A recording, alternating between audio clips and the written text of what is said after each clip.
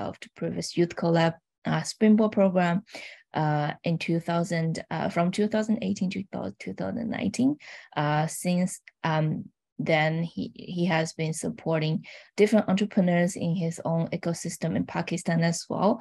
And also he has um, um, company and called Daastan that's in, um, established a few years ago, uh, which uh, he will introduce more later. Uh, so next, um, I'll pass over to Ommer to introduce the session today and, and the speakers. Thank you so much, Aggie. Hello, changemakers around the globe. I cordially welcome you to this webinar on advancing gender equality through entrepreneurial innovation and technology. This is a part of the Youth Co:Lab Springboard program, an initiative co-led by UNDP and the Citi Foundation. Aligned with this year's theme, DigitALL, Innovation and Technology for Gender Equality. The session will focus on educating and inspiring participants by showcasing the impact of gender inclusive entrepreneurship, the enabling factors, and the current challenges as shared by the successful young entrepreneurs themselves. A recently joint published, uh, a, re a report jointly published by Youth Co:Lab, co-led by UNDP and the Citi Foundation, and UNICEF reveals that how girls as young as 10 have high entrepreneurial intentions, but are unable to be fully supported by the ecosystems. Today, we have a power panel of three amazing women from our ecosystem. Before I introduce them, I would like to give, a, give an overview of what to expect. Gender equality is a global issue, and it has complex and interconnected dimensions gender equality is recognized as a prerequisite to realizing the sustainable development goals. Unraveling each dimension may not be possible within the short time we have. However, we will touch four pillars. The conversation will start with the barriers women face in their daily lives. We will then transition towards the challenges they encounter at their workplaces and learn how technology is helping them in advancing gender equality within their workplace and the services they provide. Last section will revolve around solutions, ideas, platforms, which enable women. So it would be really great to hear from you on what kind of technology and innovation is needed to create a gender equal entrepreneurial landscape. So feel free to write your responses as we kickstart this discussion. So let's begin with Shreeya. Uh, she's a founder of Happy Minds, a platform providing mental health services in Nepal. So Shreeya, tell us your story that how this idea started and what things a girl in Nepal with dreams to start her own business had to face. Over to you, Shreeya. Thanks, Ommer. Hi, everyone. Uh, so a very short start as to how Happy Mind started is I experienced the mental health gap for a Nepali community while living back in the UK as a student when I struggled to find me a therapist during the most challenging time of my life. So, when I did return to Nepal, I initiated a platform to bridge the gap. So, it's been a very interesting journey so far. Uh, just to touch on a few of the gender biases in my journey is as such that um, most females in Nepali communities, we are expected to take up on a stable nine to five job. So there is a stigma, and we are seen less of in a society when deciding to start our own venture. Um, I really had to fight hard to convince my parents, mostly because I wanted to establish a social enterprise. So it's a small and um, petty things that make the journey difficult for us women entrepreneurs um, things like the landlord won't rent out his property to do an organization led by a female because he doesn't trust that we can run a business and you know pay bills on time. Um, not to mention it is also a lost opportunity to lead a crowd for workshops and such because i am a young female. Um, again the case of no faith and trust because of my gender um, but shifting on to challenges when serving to female users is also very interesting. So, a study shows that most of the digital devices owned by the females here in Nepal are registered and also monitored by the men meaning the fathers, brothers, partners, and so on. So we bridge the gap, the mental health gap through technology, meaning we struggle to reach these women in need who don't have full access to electronic devices and the internet, which has been one of the biggest challenges for me. Okay. So thank you so much, Ria. Uh, moving on, we have Ziana from Pakistan, who founded a platform, Bechlo.pk, which has over 10,000 women solo solopreneurs from small cities of Pakistan. So Ziana, tell us how this idea came into your mind. Was it like a personal struggle or what? Tell us more about the challenges you had to face in setting this up. Absolutely. Uh, hi, everyone. Uh, thank you so much for having us here. And very similar to Shreeya, it was a very personal experience that led to um, you know, the birth of Bechlo.pk. So um, during the beginning of the COVID pandemic, I was based outside Pakistan and my co-founder and I were both visiting Pakistan and we had newborns. Um, so like any mom, I had a certain amount of, uh, you know, have two months worth of uh, clothes and uh, accessories that a child would need. But COVID happened, everything shut down.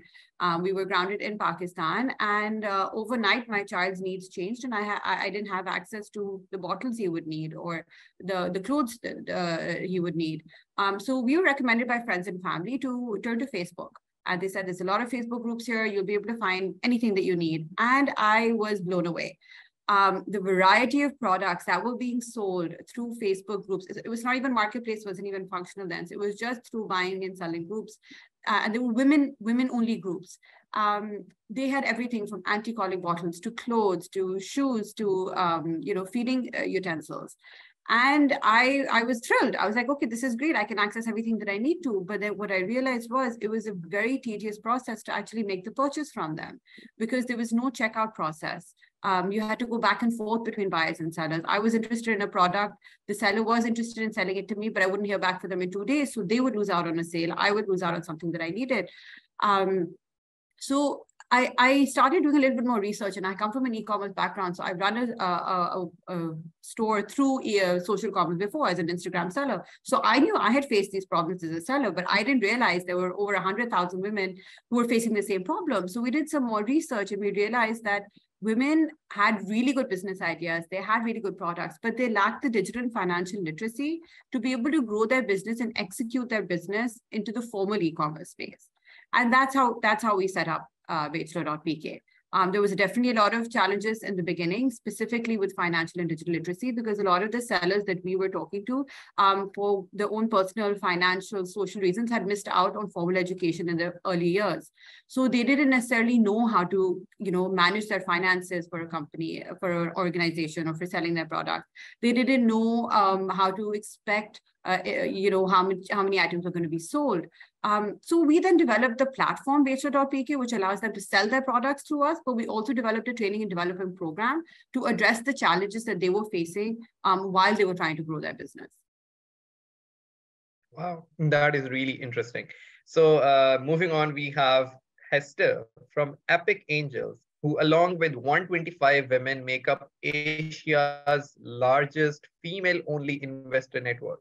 She's currently in Singapore and is always on a lookout for women with dreams. So Hester, tell us more about how and where you started and what barriers you overcame to reach where you are today.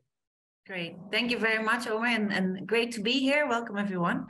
Um, happy to explain a little bit about Epic Angels. So Epic Angels, as you, as you mentioned, is a platform for female investors currently the decision makers in venture capital are 96.7% male. So what does that mean? That the decisions about which innovations and which ideas get capital are made by men. So when men think it's not a good idea, the idea does not get funded and probably dies. This is the game that we want to change. So we gather women that are have achieved a certain level in their career um, to the extent that they have a little bit of money on the side to get to to fund early stage startups, but more more to um, help them grow by paying it forward, by mentoring early stage uh, founders with their knowledge and their expertise. So we create access to uh, capital and mentoring for female founders of early stage companies. And on the other side, we increase access for female investors to investment opportunities that have female leadership. We stumbled upon this more or less as we started with a group of friends, just five women on Wednesday night, literally with a bottle of wine every Wednesday, looking at demo days on YouTube, discussing would you invest in this? Because we had so many questions, but we were actually a little bit daunted by the male um, scene that venture capital is. So how do you break into this and where do you ask all your stupid questions that you have in the beginning? So we thought we set up our own little group and ask each other these questions and just start figuring it out. We made one investment actually in Bangladesh, a health tech uh, and that is when founders started to come to us asking, would you like to invest in my company? Now, what can you do with five women? But that was for us the key to understand that there was not only a need with women to uh, invest in early stage startups that have female leadership, but also, also with startups to have more female investors because the advisory board, the cap table, the ownership, etc., all plays a huge part in the introductions that are being made, the access to markets, the access to talent, all these critical things that make a company successful. So this is when um, me and my co-founder Micah decided that we would like to build this out. Uh, we set up the whole backend in November 2021. We said, okay, whoever wants to join can join. Uh, and today we are with 126 women, uh, all in uh, APAC region. So we have 80% in Singapore, but we spend uh, also uh, Australia and New Zealand, Japan, Korea, uh, and, and uh, also South Asia. Uh, we invest in early stage startups, so from pre-seed until Series A, uh, and we, we syndicate our investments. So we make investing actually very accessible with lower ticket sizes than what you typically would see in VC. Wow, that, that's really amazing. Uh, thank you so much, Hester. So um, now we'll talk a little bit more about how personal brands of our panelists are advancing gender equality in their communities. So Hester, continuing with you, uh, I would request that you tell us how Epic Angels empower the Epic women founders. So there are like many women entrepreneurs in this session who would just want to know a step-by-step -step process or a list of services that your particular brand offers. So can you elaborate a little bit on that and then we'll move to the rest of the bandwidth. Yeah, sure. So um, in essence, we have a very standard deal flow process where, where founders can apply to our platform via our website, and then it comes to our attention and we review it the value that we add in that particular step already is that we always come back with feedback. So we allow only startups to apply to us when there's at least one female in the core team. It can be male founded, but at least so that comes down to let's say 30% ownership uh, equity uh, uh, female. So we always come back either when there's a fit with our investment focus or not we always provide constructive feedback. When we say uh, there's no fit when there is a fit we really work uh, very hands-on with all the angels in our network to um, create this partnership and also see how good of a partner we can be so what what they need from an investor more than just money for example expertise in entering new markets in southeast asia um, on uh, uh, the go-to-market strategy for B2B, for example. There's all sorts of things. And that's the beauty about having such a large network there is expertise in all industries that you can imagine and in all sorts of, of functions that you can imagine. So um, it is likely that we will be able to match the founder with an expert of some sort to uh, continue growing the business. Wow, really amazing. Thank you so much, Hester, for these uh, insights. So now I'd request Ziana to show her show how her platform is advancing gender equality. Ziana, tell us, is it just like women? Is it like a women-only platform or out women outside Pakistan can also use this platform? Tell us a little bit in more detail that how women can become financially independent through Bechlo.pk. Thank you so much. So uh, it's at the moment we're based only in Pakistan, uh, but through the uh, Youth Co:Lab program that we were part of last year, we identified that there's the same issues and the same barriers are being faced um, in other emerging markets as well. So that's definitely something we're going to look into in the future. Um, but one of the reasons that, so Pakistan has the second lowest um, labor force participation rate by females in the world, and we have a population of 100 million women. Um, key, two key barriers to that is uh, lack of education uh, as well as lack of social mobility. This uh, setup for joining the formal workforce in Pakistan, like many other countries, is the expectation that you can leave home from nine to five and you do not have um, any restrictions on being able to get around, uh, physically get around in, in a city. Um, in Pakistan, women have, uh, especially in smaller cities uh, where the majority of our population lies, um, they have a lot of family obligations, they have a lot of social obligations. They don't have access to the education where they can um, hire, uh, you know, support for their for their children to watch their children when they go to work. So the main need that we identified in Pakistan uh, in order to achieve gender equality, to achieve financial independence, is the ability to earn an income from home in a flexible way. Uh, and because of COVID, we were forced into this digital boom where over 100 million people got access to the internet within a span of two years, and adaptability to the internet started increasing very rapidly. So people now had access to smartphones in their homes, and we wanted them to use that smartphone to be able to earn an income. So this the the second they start selling products and they start receiving income, initially our sellers would receive their income in a husband's or a father's or a brother's bank account. Um, where they were definitely earning the income, but they didn't necessarily have control over that income. So through our program, while talking to them, we explained to them that, okay, you know, these are digital wallets. These are now becoming easier for you to set up. We'll help you to set it up. Why don't you receive the payments in your own accounts? That gives them the financial independence, the financial inclusion that's needed for the economy to prosper in a formal e with the formal e-commerce economy. Right now, the way that they're working is they're not being able to be counted as as the formal workforce because they don't have bank accounts in their names. They don't have um, access to uh, these services. So through Bechlo.pk, we're bringing those services to them and they are in their own communities. We've seen that they are now be, being able to tell each other about it and they're all the women together in certain cities and towns are coming up. They're becoming more financially independent. They're making decisions on their children's healthcare, on their parents' healthcare. They have money now to put aside um, and they have the confidence to say, I want my child to go to this school and I'm going to be able to pay for it.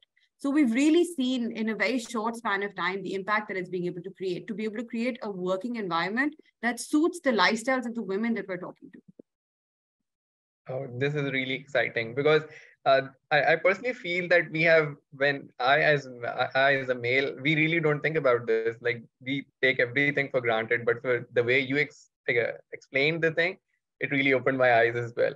So uh, thank you so much for doing this amazing work, Ziana. Uh, we now let's move on. We are aware of the fact that achieving gender equality means eliminating gender-based discrimination, violence, stereotype, and promoting equal representation and participation of all genders in all spheres of life.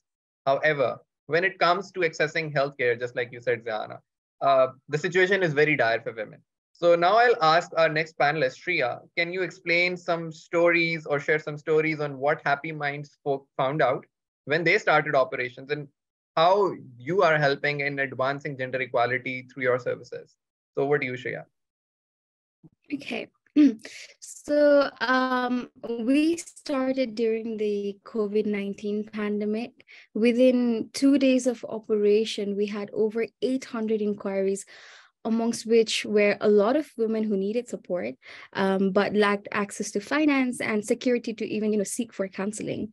So um, understanding the pain of the females which were the majority of them we introduced employee assistance program in nepal so we partner with communities, corporate houses, and um, educational institutions to offer free access to mental health supports that's been sponsored by the organization. Um, and now in less than two years of operations, we have directly impacted more than 18,000 individuals where um, more than 65% of them are women.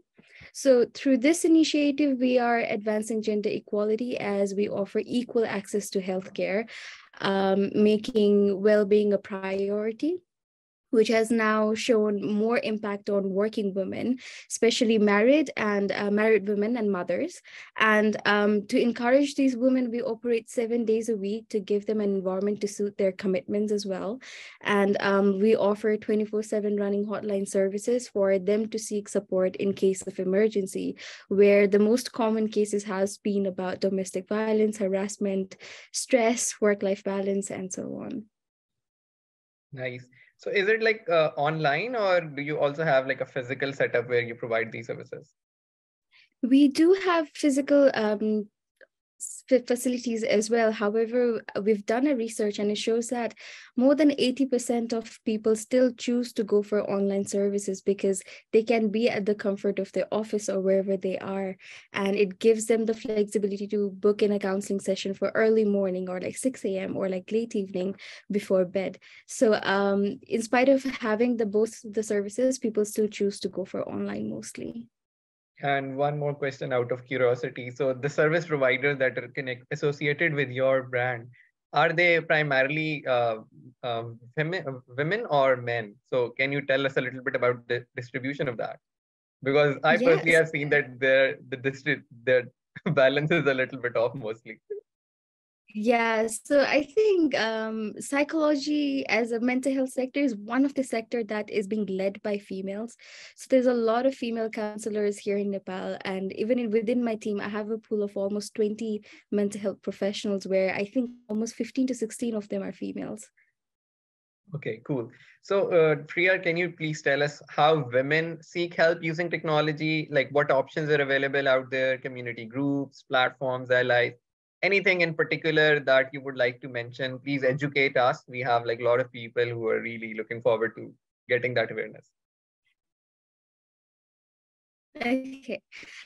Uh, so the blessing of technology has been access to information. Um, reaching to people for support and advice um, has give big about injustice and biasness and um, build groups to support a fellow woman um, for me, I depend on research and pick my mentors. Um, I've reached out to them mostly on LinkedIn and connected with amazing organizations who understand my vision and challenges. Uh, just to name a few on top of my head would be UNDP Nepal and Impact Hub.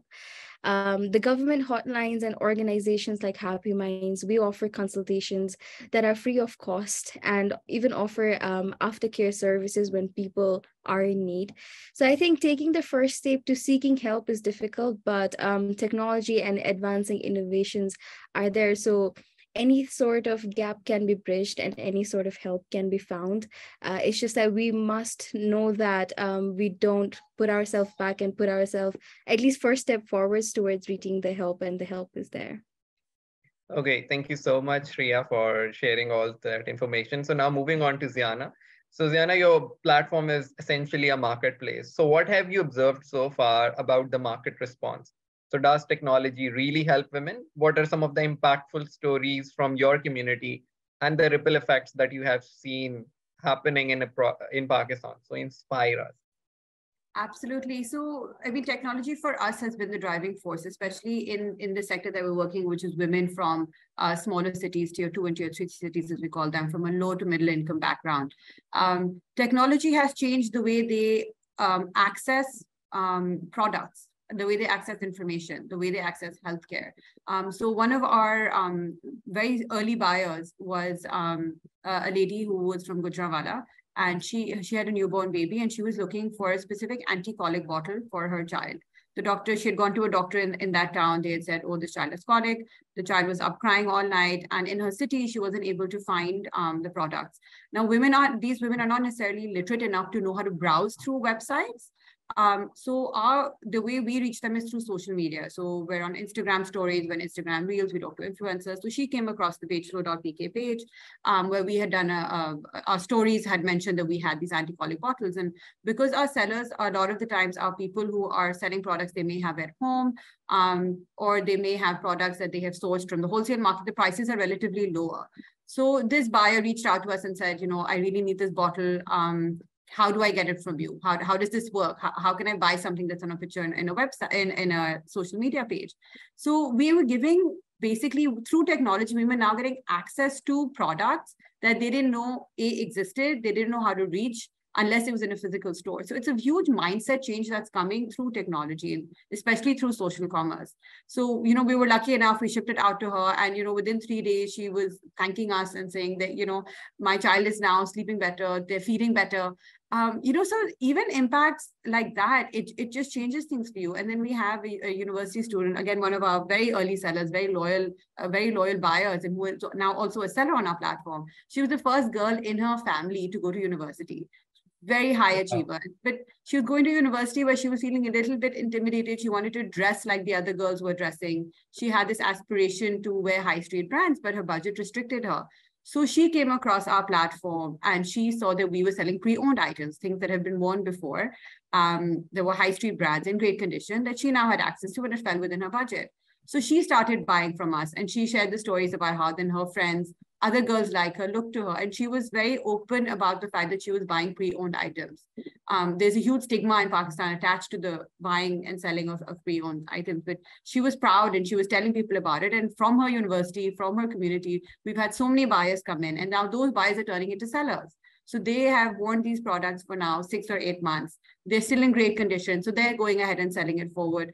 So, you know, you really see the impact and you see the fact that as these women are getting, you know, $30, $40, $50 of an income a month, they can now choose where to spend it. They're, they're sending their kids to, to after school classes. They're selling their kids to uh, a small football club that's happening in their area because they can now give them the experience. And the, the whole point of Bechlo.pk is to make e-commerce easy, affordable, and accessible. These women would generally spend more time in their homes, in their local areas within a five kilometer radius. So the fact that they can now access products across the city, um, from larger cities, from smaller cities, from the north, from the south, that's what technology is bringing. That's how technology is changing and innovating and really helping people um, across Pakistan, across small cities, um, access things that were previously untapped. So, uh, Ziana, I have like a couple of follow-up questions regarding that. So, when we talk about marketplace and again, women accessing marketplace, so they're all there are other marketplaces that exist in Pakistan as well, like Daraz and uh, other platforms as well. So, do you think that um, the products or the range you have makes you competitive or makes you better or makes you the platform which women prefer or uh, is there any other reason that you would like to share with our audience so basically, the, the main idea of Bechlo.pk is yes, we're a marketplace like any other marketplace, but it's about the curation of the selection of the product and diversity that we offer, and also how people find us. So we're a social commerce marketplace. Uh, people find us through their social media. So where we they are spending two to three hours a day on their Facebook, WhatsApp, and Instagrams, and that's how they're coming across us our audience doesn't necessarily know how to go into a Google search and spell the items that they're looking for. So it has to be very visual. So it's the way that our uh, community is accessing us. It's the product mix that we have to offer.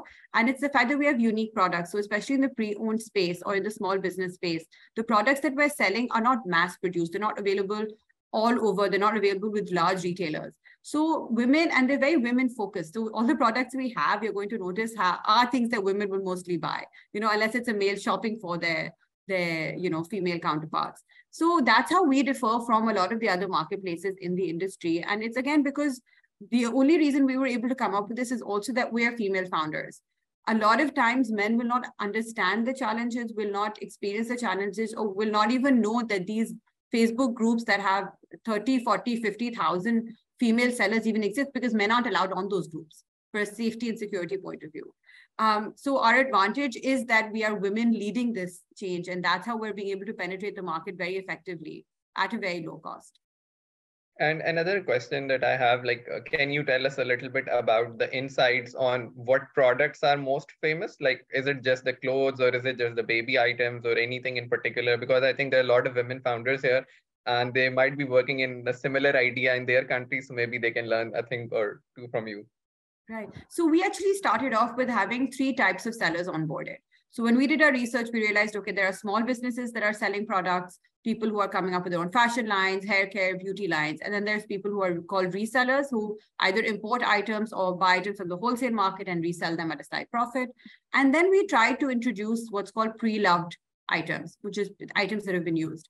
Our idea, our initial research showed that the small businesses would be the most successful. The main areas would be the large metropolitan cities like Karachi, Lahore, Islamabad. But our actual customer base is completely different. So we've seen the highest uptake in the pre-loved market. Um, high street brands that are being sold at about a third or a quarter of the price in great condition and that's where that's where our sales have come from. Um, so pre-loved whether it's for women whether it's for children we've seen a huge uptick in toys and books. So those are things that people have really taken to for their children. Um, because again we're accessing a market who didn't really necessarily have stuffed toys or did not necessarily have learning toys for their children uh, previously yeah. because it was always seen as kind of a luxury. But now they can access those at a price point and they become aware of it. So until you're confined to shopping in person in a small city you don't even know what else is out there. And through, you know, Bechlo.pk and technology, they're basically now accessing these, these products. And uh, we've seen a huge uh, uptake in the pre-love sector for sure. So I, that's definitely something we didn't anticipate. We thought it was going to be really hard to work on the stigma attached to this. But uh, I think I think right now women are curious. They're excited. They want to know what's out there, and they want to make the best choices for them and their families, irrespective of the social stigma, which I think is a really empowering aspect as well. Wow, that's really amazing. Thank you so much, Ziana, for sharing all those amazing stories from your platform. Now I'll move to the next panelist. So Hester, you have worked with like a lot of women throughout your life. So we would like to know that what is the role of technology in Epic Angels? So does it help in advancing gender equality? And like, have you seen any entrepreneurial innovation mushrooming in the community? So educate us. Uh, yeah, the platform itself is an example of how technology can provide access to large scale um, where previously that was not accessible. So through our platform, we can reach uh, large numbers of female investors who are able to support female founders elsewhere in the world. Uh, uh, and, and that is kind of a marketplace that that platform actually works and it doesn't require high tech. I mean, we built it all ourselves. There's uh, no one else who came there. So, so that is uh, that is quite quite easy. And I just want to um, jump into uh, something that Shreeya said. Indeed, like that the mental uh, health industry is considered a female industry, um, and there's an interesting mechanism that is probably interesting also to know for the female founders on this call that um, unconsciously people consider certain industries male or female so for example, mental health is a female considered industry, same as fashion. Uh, so, so that is uh, where Ziana, where, where you are in. Um, same for travel, that is a bit in between, but more considered female than male. And then there's of course the the, the, the male considered industries like uh, cars and, and, and things like this. Now, um, an unconscious bias in investors, which is good to be aware of, is that uh, men can make products and services for both male and female industries. So there is no funding difference for male founders, whether they have a product for male or female industry. However, for female, female founders are 10 times less likely to raise funds if they have a product or a service that targets male industries.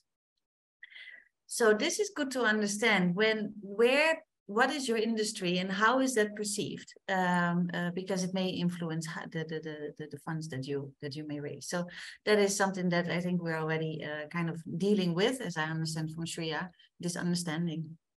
Um, coming back to your question, I think that the pure tech is uh, is what we see in a few brilliant cases that we have actually supported. Uh, one is actually in Pakistan.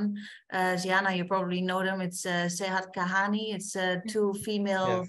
doctors um, who Tara. use tech for for to to enhance the chances for women. So uh, correct me if I'm wrong because you're from Pakistan. I'm not, but what I understood from the founders. Um, they both studied medicine. They actually loved medicine and practicing medicine. They uh, found out that when they found their husband, that many women actually uh, study medicine to become good doctor brides. So at 70 to 80 yeah. percent go study medicine to become doctor brides, and then that's it, right? So you still become a housewife taking care of the children at the home. Um, these two founders found themselves actually love pra practicing medicine found themselves at home with their babies feeling stuck. It's like, this is not what I did this for. And hence they created this platform for female doctors uh, and moms and whatever other roles they have to actually be able to continue practicing medicine while also taking care of the home and the children. So very flexible working schemes, uh, uh, bringing together the, the patient and the doctor through this platform, benefiting both sides. So both the female medicine practitioner, doctor, and, and, the, and the patient. So this is one example where tech can really, really help advance the chances for women. Thank you. And I, I have like few more questions from you, Hester. So when you listen to pitches, uh, many founders come to your platform and pitch. So what kind of ideas do you usually see? What kind of trend is in the market? Like are the ideas related to just marketplaces or is it like deep tech or is it related to entertainment or travel industry? So what kind of ideas you are usually getting? And i would like to know from a perspective of female. So are there like enough female founders applying to epic angels? And what kind of ideas they are having? And yeah. if you can just give a little bit of comparison yeah, uh, it's it's a good question, but I honestly don't think that there's a differentiation uh, in the industry that female founders typically target. What I do see is that female founders usually have gotten their idea for their business based on a personal experience. So either, for example, they have fallen ill and uh, felt uh, that they needed therapy uh, and then they did not have access to therapy on the moments that they really, really needed it. So hence they set up a platform for kind of demand therapy, therapy on demand anytime, anywhere, as an example. Or um, uh, indeed, uh, so family businesses in a certain industry. We had another one from India the other day where uh, that was very deep in construction. So very male industry, female founder. Her family was in construction for generations, and she had seen the inefficiencies between job site managers and construction workers who are day, daily wage workers. Um, where that goes wrong. So this is how she came up with with her solution, bringing creating a super app basically to make more efficient matches, but also to uh, protect the rights of the daily wage workers. And on the other side of the job site managers to be able to do compliance, KYC checks, etc., and also to be able to communicate with the workers during a job. So these are that's a difference that I do see where men seem to be able to distance themselves and their personal experiences more from the actual product they're building. Many times, female founders um, have been triggered to build a product based on a personal experience, which is good and bad.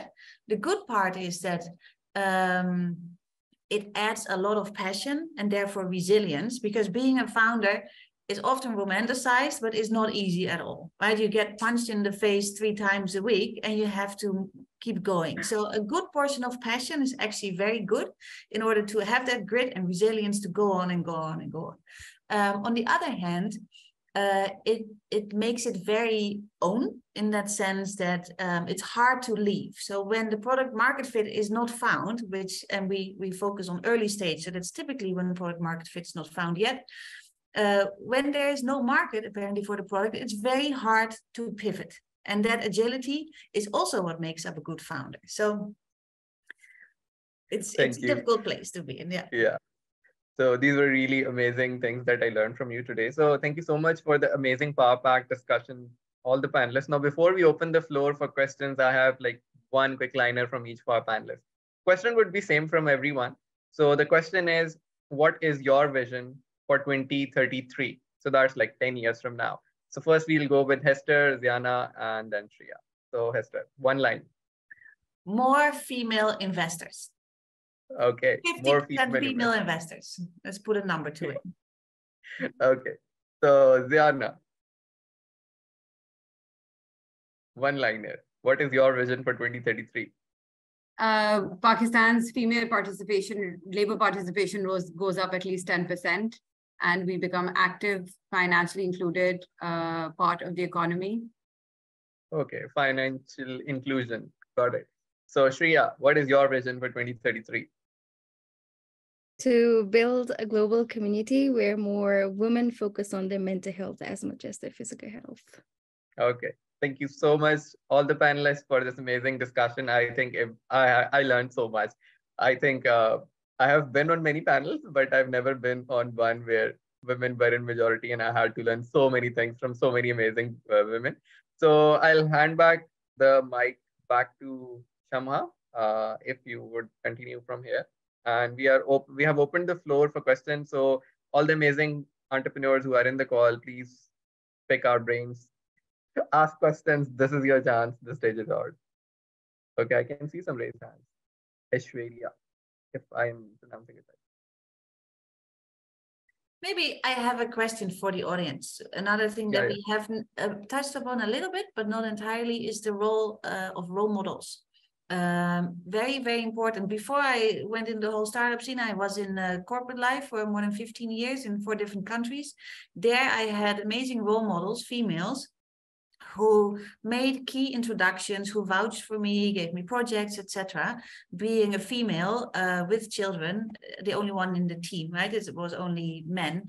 Uh, so you need that support somehow. And now again, I see it that the angel investors in our network, how they are a role model for female founders that is actually feasible and to step up and to actually take the fear out of things like pitching, uh, all filled with bias that, that creates a, a lack of confidence, which leads to lazy, raising less funds. So the role of role models, I think, is very, very, very important. And that would be actually my core wish that there's more role models for females to step up. So I would like to understand, do you have access to role models? And if not, what are you lacking? What do you need? Okay, this is a great question. So audience, now you are becoming the speaker. Please tell us who is your role model? And I'll also give the mic back to Aggie. So Aggie, if you can take over from here. Thank you so much, Ommer. Thank you so much, Ziana, Shreeya, and Hester for the fruitful conversation um, that um, as, a, as a great uh, discussion that will lead up to the International Women's Day this year. Um, so I saw there are a few questions in the chat as well. Um, so there's a question from Ximing uh, from the Social Laboratory. Um, she asked, uh, gender equality means making chances fair to for men and female um, which means chances equally distributed to the different genders, or simply meaning providing more opportunities to female. Um, anyone who has um, any uh, response to this question?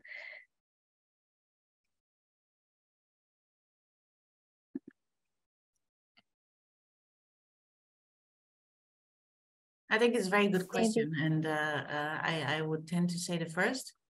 So fair chances for male and female because you need both sides to have the balance. It's all about balance. It's not about more of the one than the other. It's it's about balance. So um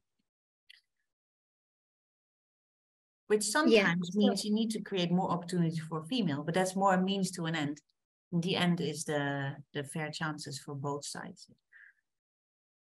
Yeah, I think I agree as well. Giving equal opportunity to both is equality, but where you think um, a certain female does not have access to a platform and you see the potential in her and would like to give that, then I think that leads towards gender equity.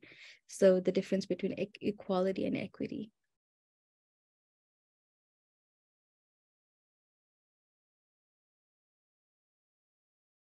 And there's a question from Roshan. Um, um, if any other speakers has any thoughts on this, feel free to jump in as well. As of reading the question in the chat, um, this is for um, Ziana. What's the percentage commission you take to sustain the marketplace through a business?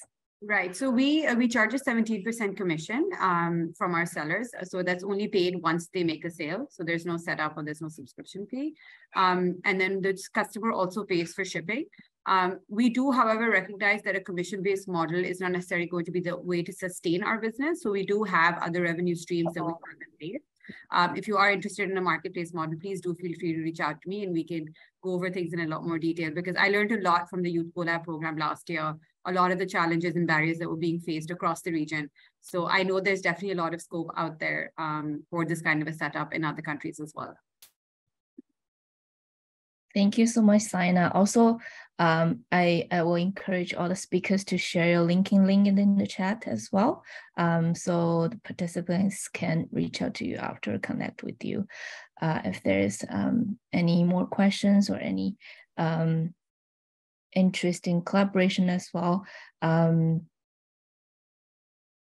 so in terms of role model, um, Fangqing shared, um, honestly never had a role founder role, uh, role model growing up.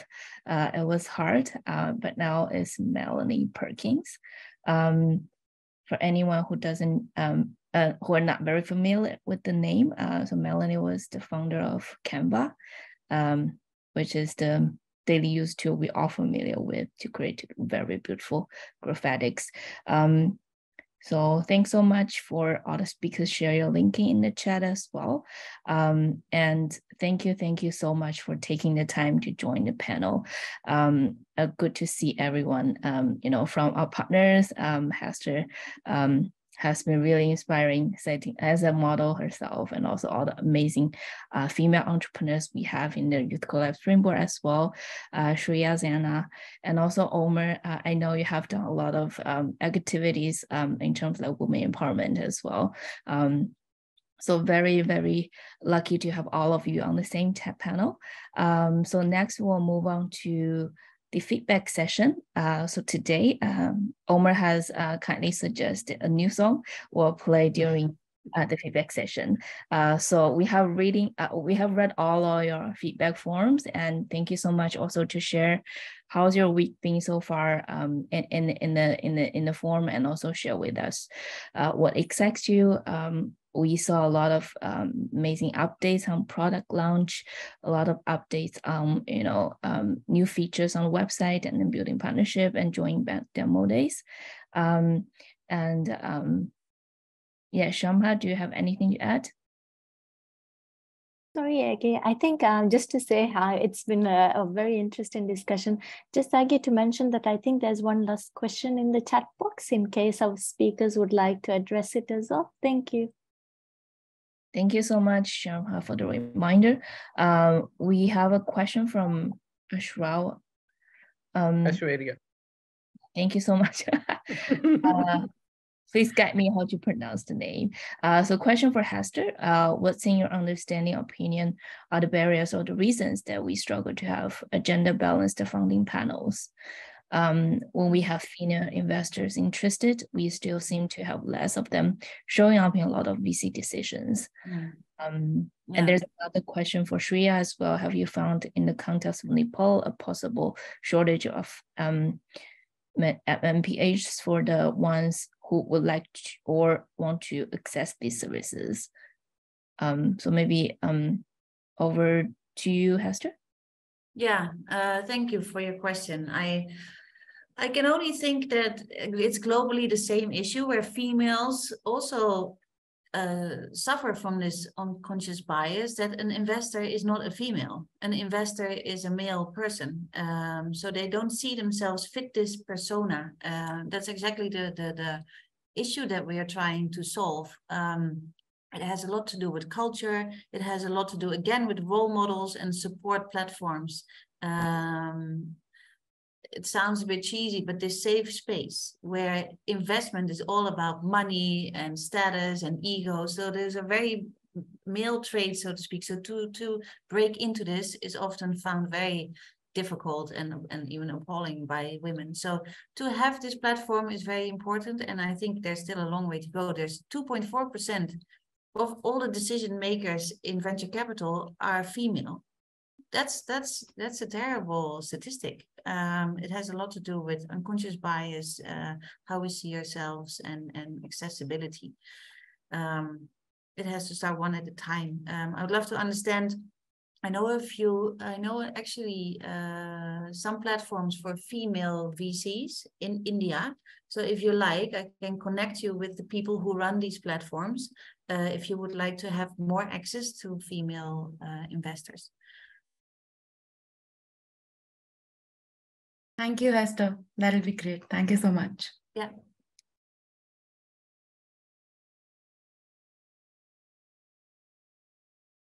Maybe Shreeya, there was also a question for you. Yeah. Uh, in con possible shortage of so i think it's a really interesting question so to give you an interesting fact as well in a so nepal's population is 30 million for a population of 30 million, we only have 31 registered clinical psychologists and only a handful of counseling psychologists. So for every one mental health professional, we have around 100,000 um, Nepali that we can allocate, meaning there's a severe shortage of mental health professionals here in Nepal.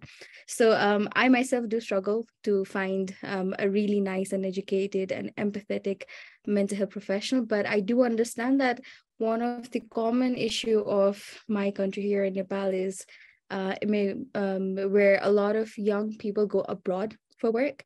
So I also understand that there are really well educated and diverse mental health Nepali professionals who's been operating outside. So my mental health professionals are also based in India and Australia who are studying amazing uh, and very diverse mental health streamlines like criminal psychology and EAP itself as well. So I tend to connect um, the users who are based abroad to the professionals there and also exchange the resources. So uh, just to answer your question, yes, there is a massive shortage of um, mental health professionals here in Nepal. Thank you, Shreeya. That really helps. Thank you so much. Thank you so much, Shreeya and Hester. Um, so also Nava from Together for Good also share when it comes to role models, there can be formal and informal role models. Um, so I'm very thankful to have both and in the last few years.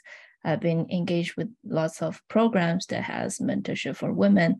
Um, for example, we do, um, and reading out advisors who are women and some men who are allies. Um, so thank you so much for sharing. Um, and um, next, we'll move to the feedback session. Uh, we'll, uh, as I mentioned, we'll play a song suggested by Ommer. And then after that, we'll take a group photo together um, to uh, end today's session. Um, one more comments from Milan. Uh, the problem I see is many women tend to hide behind men and very reluctant to come forward. We ourselves doubt the strength and what did and how we can make a difference in many lives. So how can we put women up or how can we push ourselves forward? That's a question for um, the speakers as well. Um, so I will share the feedback form here. Uh, if any speakers would like respond to this question, uh, feel free to jump in as well. Um, in my in my experience, a lot has to do with network. Um, and I know this is also very culturally dependent. Uh, in some cultures, it is not common for women to to create connections with men, or the other way around, for men to reach out to women to connect. Uh, so I'm very aware of this, but it starts with network, in my uh, opinion, where it starts one by one. So if there's people who can make the introduction and pull that woman behind the back of the man and say, look, this is she and she and she can do this and that. That already helps a lot. So again it's this kind of sponsor uh, that starts creating those connections uh, because that's where the ball starts rolling. Sometimes this vacuum needs to be created and it's also it's uncomfortable or not appropriate for women to step up and and make a lot of noise themselves. In that case you need somebody else. But recognize also when you are that person when you know of somebody that tends to hide behind back, but is actually can add great value to a certain uh, situation or person, then make that introduction. It's not only, we're not only the subject, right? We're also the actor. So think critically of what your role can be and which stretch and vacuum you can actually uh, uh, help create. It's in the little things. It, it doesn't have to be big. It's in the little things. And just to add up on what Hester has mentioned, I do think networking does put on a lot of value when you're trying to um, build as build and grow basically. But um, for me, how do I um, grow myself or pull myself upward because you don't necessarily have good days every day. So I basically harvest for my rainy days. I have a vision board where I write it up and uh, make it really fancy and aesthetics to make sure that I am reminded every day as to why is it that I'm starting and why am I here? Because sometimes when you're in between a lot of stress, it nothing makes sense.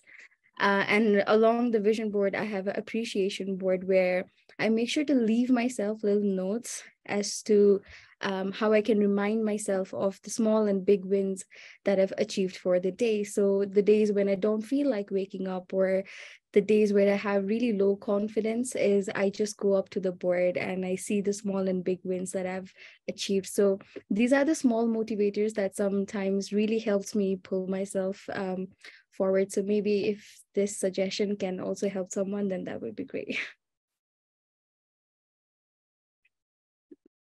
Thank you so much for sharing. Um, I love the idea of vision board. Um, I also have a small collection of all the um, all the all the all the amazing updates from um, all of you as well to inspire uh, you know the whole um, Springboard team. Um, so thank you again so much to all of our speakers and our awesome moderator as well. I think uh, it's been such a great time learning from all of you. Uh, thanks so much to also to uh, our team, uh, Shrang and Shamha for um, writing up the concept note to make this happen. And thank you everyone for joining the Springboard Plus session. Uh, we do this every week. Uh, so obviously I'll see all of you next week uh, until the many, many months more to go until June and beyond. So now until summer. So see you all. Have a fabulous uh, week. And until then, take care of yourself. And if you can, someone else also. Thank you again. Bye-bye. Bye. Thank you.